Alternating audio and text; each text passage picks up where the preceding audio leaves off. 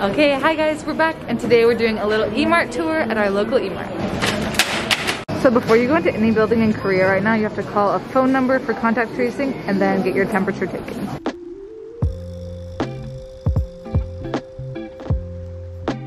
So this E-Mart that we're in is a pretty big one. It's three stories. This bottom floor that we're in has like, I don't know, I guess you could say like cleaning and like hair care and all that kind of stuff in addition to food. And then on the second floor, there's a bunch of different stores that have like clothing items. And then the top is like appliances, kitchen, things like that.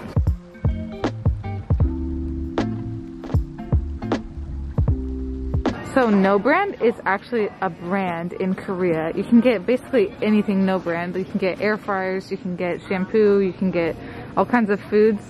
But yeah, it's just a really cheap brand. It's kind of like, what would you say, like at Walmart. There's, um, oh, I can't even remember. Great value. Great value, yeah. It's pretty much like, like the great value of E-Mart. These little like probiotic yogurt drinks are really popular here. We always have them in our fridge. Over here we have basically like the equivalent of like a deli section in a Korean grocery store. So they just have a bunch of different kinds of kimbap and stuff like that and it's pretty cleaned out right now because it's the evening but they also have some sushi and sashimi and stuff like that too. Is it marinated already? Yeah, it's got like a kind of a soy sauce uh, Okay. kind of mixture on it for Nice. bulgogi. Looks good.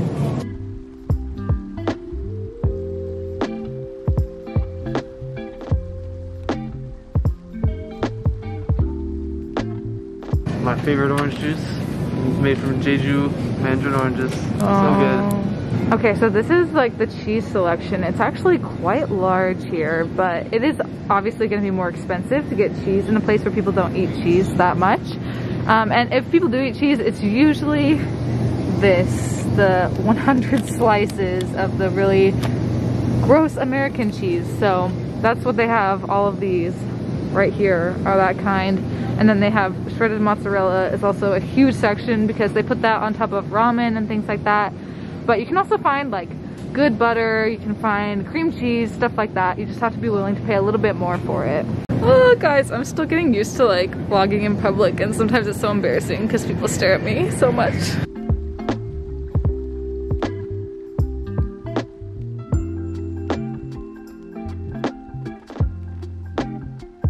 This is like my students' favorite thing. They get so excited when they have this for lunch. But it's basically just like tiny strips of seaweed that are really salty and yummy and they put it on top of rice.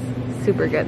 Korean food always has a ton of side dishes as well. So people will often make them themselves, but you can also buy them at the grocery store here. Can get like squid and a lot of different I don't know, like fermented things. Most of them are pretty good. Something I just love about Korea in general is that there's like access to so many different items. Like there's a ton of avocados here.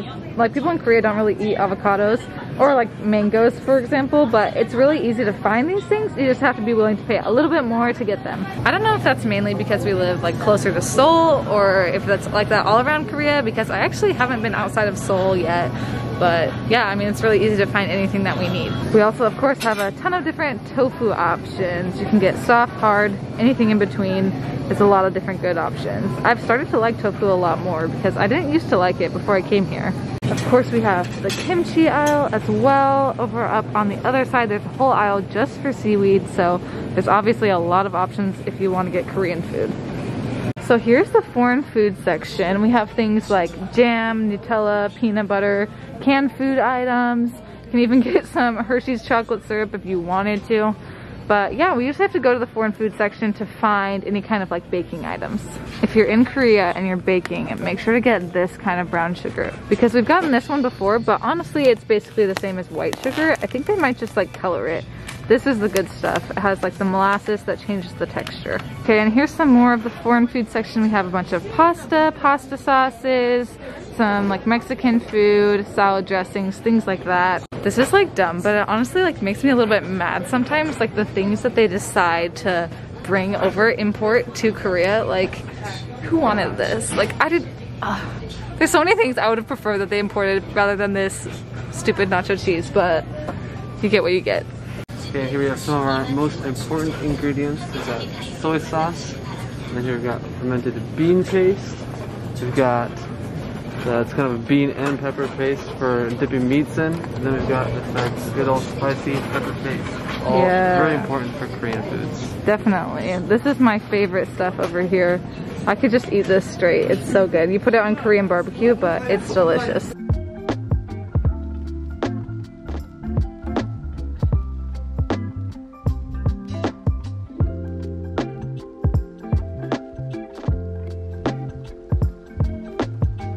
Okay, so we're now on the second floor, which is basically just there's a bunch of stores, like clothing stores and stuff like that, that have like little mini shops around here.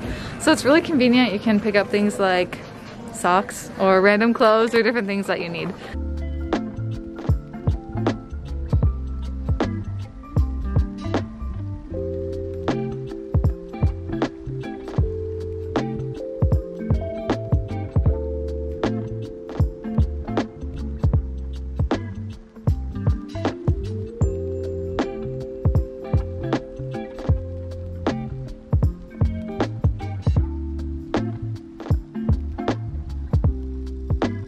Most people in Korea celebrate Christmas, but it's mostly like a commercial thing or like a couple's holiday. But it's still really fun and cute to get everything all decorated. Oh, Joseph, last time I was here, a kid literally tackled this to the ground. Oh, it was so funny.